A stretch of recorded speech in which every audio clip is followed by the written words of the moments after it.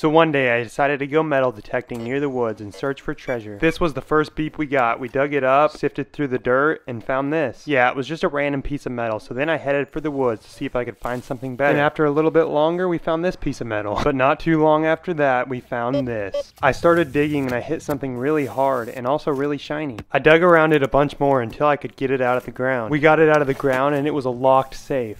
It was really crazy and still turned on, so I tried to enter the code but failed. So I just threw a rock at it, hoping to bust it open, then threw it in the pool. I wanted to try to drown it open. I had to rescue the safe though, because it went underwater. I got the safe back up on dry land and then attempted busting it open with rubber bands, which eventually worked way better in my head, so I just threw it at a tree, and then another tree. And well, another tree. But the safe still wasn't open, so I resorted to my slingshot, which busted it right open along with everything inside. And inside was the SpongeBob movies.